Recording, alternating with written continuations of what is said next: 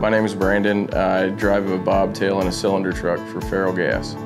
The biggest benefit for me working at Ferrellgas seasonally is the flexibility. You almost are your own boss here.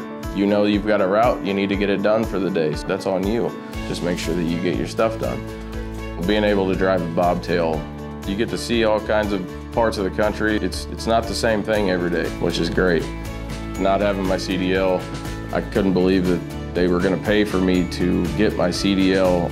I was compensated from the very first day that I walked into this office. For a new guy that's completely green, you've got the best support system in the world here. Everybody at Ferrell will help you out.